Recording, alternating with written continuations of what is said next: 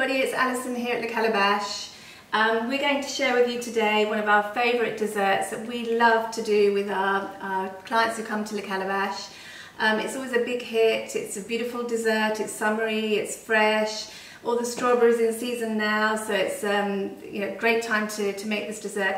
We're going to do um, our vacherin, um, which is our own take on the vacherin, and um, we're going to share that with you today. And I've got Sid with me helping me, which is fantastic.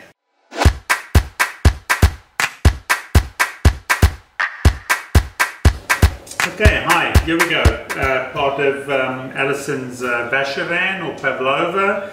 Um, we like to use a genoise for it and you'll see later on to go as we put it together and assemble it. Um, genoise is really simple to make. Um, we're just going to make a simple uh, vanilla genoise. What's really important is, is um, make sure you've got really good ingredients. The, um, the eggs are so, so important. We use local um, free-range eggs from a farmer down the road. The butter, make sure the butter is 82% or 84% butter you're using. Once again, a really good butter. And um, instead of using vanilla pods, because they're so expensive at the moment, we're using a, a, a vanilla extract, which is very good as well. Very expensive now uh, because of the shortage of vanilla. And we've got a um, all-purpose flour there. Um, really simple, what we're going to do is we're going to take our butter, put it into a pan, and we're going to melt it. Okay, there we go. Um, as I said, make sure the butter is 84%. Um, our mixing bowl. I like to start off with, uh, get my eggs in there, and uh, get my caster sugar in there. And I like to bring it together with a whisk first before I put it in the machine, okay? And we just make sure that egg and that sugar is well brought together. And we do that just before we bring it over to the stove. And we've got a double boiler on here. Okay. And we take our bowl, put it onto the double boiler and we're stopping it up. And basically what we're looking for is we're looking for a sabayon, okay? We want to just heat that up and warm it up. Basically what it does is, is the, um, the sugar in there melts into the egg and brings it, brings it together really nicely.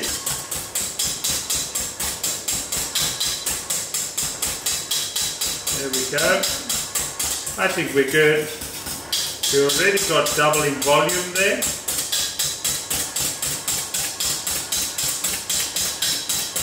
There we go. I'm going to take that off now. And I'm going to bring that over to my machine now. Take that off. Put onto my machine, onto my mixing machine. And here we go. That won't take long. Bring that up and on full speed, whisk it through, okay?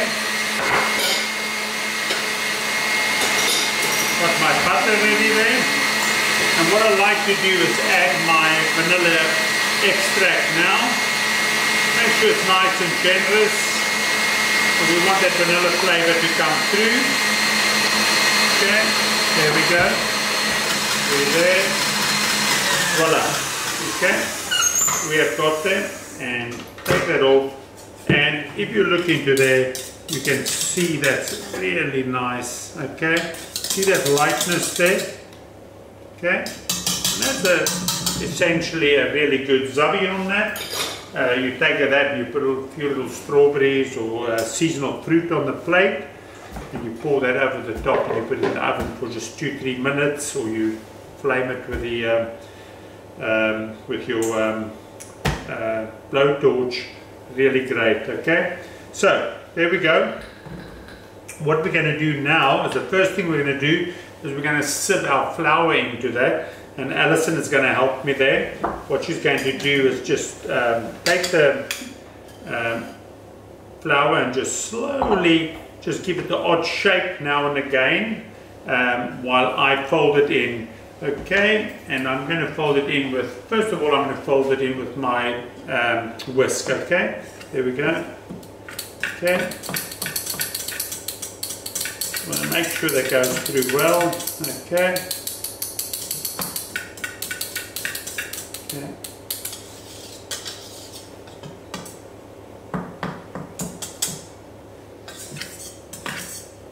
There we go. Oh, that's looking good.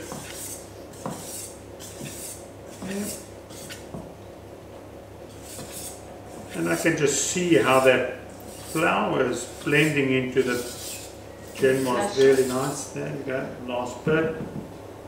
Okay, there we go. So I use I use the whisk just to bring it through. Okay, and there we go. Okay. Make sure that's really in there good. Okay, now what I'm going to do now is I'm going to use my spatula now to fold it through, just check through that it's really through nicely and that's beautiful and smooth. And now I add my butter, okay? Add your butter slowly. Um, could you just hold the handle there for me, Al? Sure. Thank you. There we go. And just fold it, bring it over the bottom and look at my hand and look at how I use my spatula. I bring it up from the bottom and I add the butter slowly. Okay? Don't add it too fast. You want to make sure it blends through nicely. Okay? There we go. Oh my lord, this is good. Okay? And what I've done, I've stopped and just left a little bit of whey in the pot there because I don't want to add that, okay? And there we go. There's my Genoise mix there. That's really good. Take my tray. And what I'm going to do now is pour that into the tray and you really don't need a a palette knife to to to to to, um, level that out. Just the, um, the pressure on the pot there, just go around the side of the pan on each side. There we go. We don't want to shake it too much. You mustn't do that too much because the air will come out of the genoise. Okay. We need a bit there in that corner there. That's lovely. Okay, and there we go. That's how simple it is. That's going to go into the oven now. The oven is on um, 200 and that goes into the oven now. And that should take around about 12 to 14 minutes and it'll be great.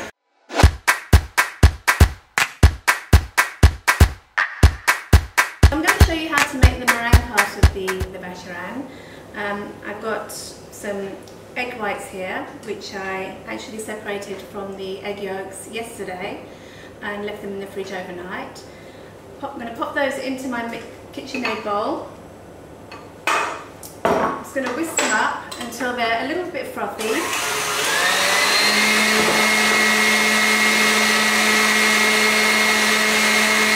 Just like so. And here I have some fécule. We like to use fécule or potato starch in, in our meringue because um, um, often meringue can be quite chewy. This makes the meringue very crisp and very sort of melt in your mouth, so we like to use that. I'm going to add the fécule to the sugar, my caster sugar, and add that to the egg whites. Okay. Turn that back on.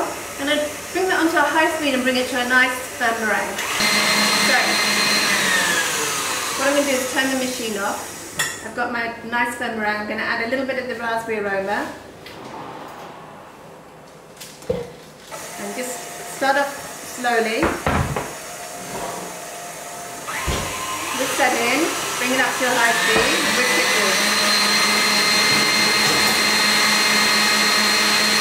A lovely pink colour and I can, I can smell that raspberry aroma coming off that meringue.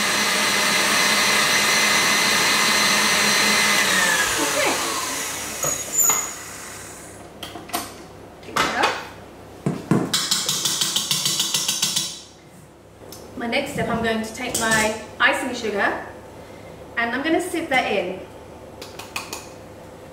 So it's, there's no lumps, nice and fine. I'm going to push through the rest with the spoon, like so.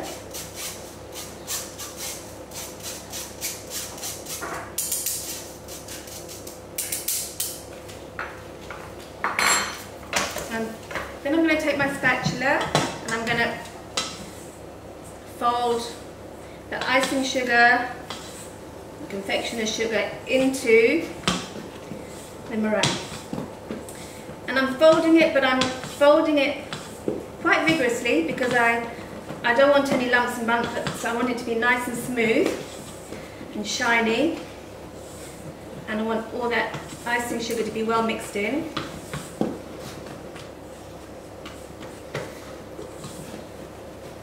And there we have it. Nice smooth pink fluffy meringue.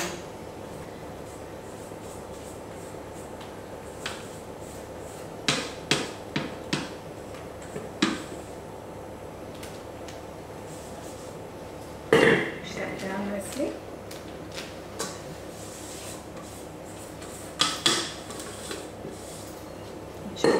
All I love the size of there. And just going to push it down. Make sure there's no air bubbles. It's not going anywhere, it's blocked. Okay, so here I have my parchment paper and tray and I've drawn a circle because that gives me a guide to how big I want to pipe this base. I'm going to just take that paper off for a second, pop out my nozzle and just pipe little little meringue just on each corner and that's going to stick down the paper so it doesn't move around. It's a good little trick. And then we're going to pipe our base. And you want to hold your bag up and pipe in a circle.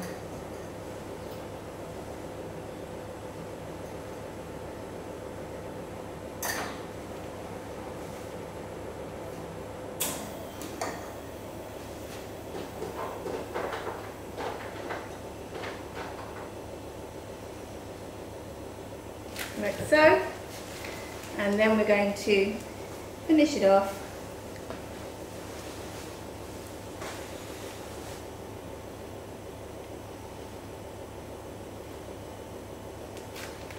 With our little rosettes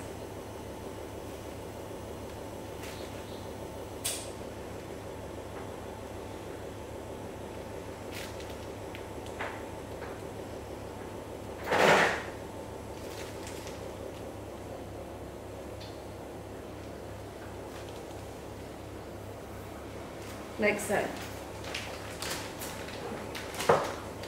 And what I have here, I just have some little pieces of um, raspberry,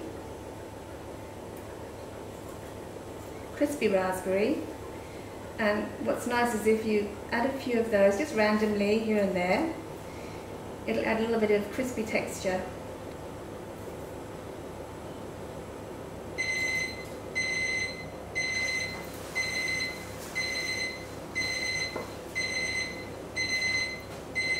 like so. What we're going to do is pop that into the oven. Um, it'll take, it's on a very low temperature, 125 degrees centigrade, uh, even 120, very low. Um, and it's just going to dry out in the oven for a, probably about an hour and a half. And at that stage I'll just turn off the oven and leave it in the oven for a few hours just to um, dry out nicely.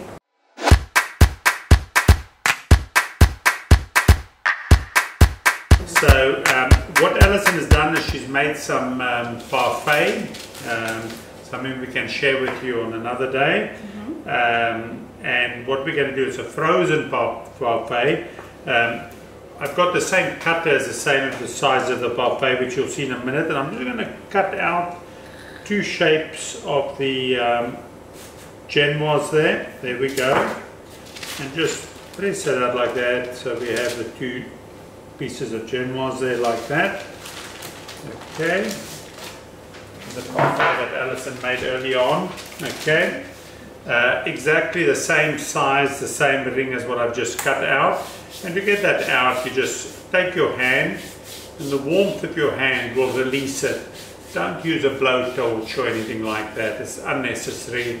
Okay, just the warmth of your hand will slowly warm up the metal, and then you can just press it out on top of that, like that there. There we go. Okay, really nice. Take that one, you put that at the top there like that. What Alison's going to do now, she's going to uh, pipe these. Chantilly cream. Chantilly so cream. the chantilly cream, we've just um, whipped up the cream and we've added a little bit of vanilla, uh, vanilla um, paste, and we've added icing sugar. So it's going to pipe her. I'm going to put a little bit of raspberry liqueur on the top of my sponge there. Okay, on top of my genoise. Okay.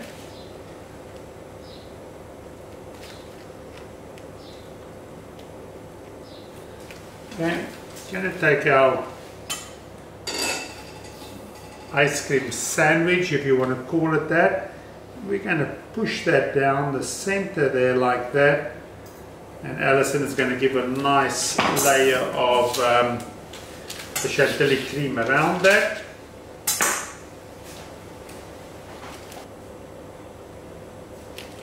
Oh, that looks good. A Huh? little bit of cream on the top as Okay. well. Put it on the side there. Oh, a little bit on the side. and so-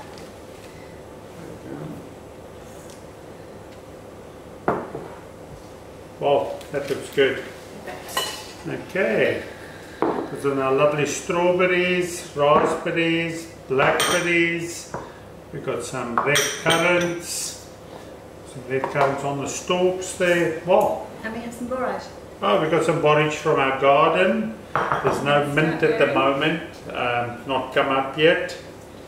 And um, what Alison's doing now, just layering the fruit around that thing. Okay. I love the strawberries, they're really nice. I They're really sweet. And there we go. Look at that. When you serve this to your guests, you've got such a nice surprise underneath. Eh? You have that uh, that um, ice cream sandwich, if you want to call it that, right underneath. You've got some little um, tiny baby meringues. That Well, I love those. Ready, just to Ready. give another little bit of crunch. We've got our little borage flowers which come out of the garden. This year we've just had a tremendous amount of borage and it's come out so much, um, such a, a few weeks before the time, hasn't it? Oh, it's, it's like Yeah. everywhere. It's beautiful. A sprinkling of sugar. Oh, I love it. Absolutely love it. One of my favorite, favorite dishes. Your pavlova. A few more borage on there. Oh, is that lovely one? And can you imagine you have some friends around and you surprise them, especially if it's a birthday party or a, or a um, occasion.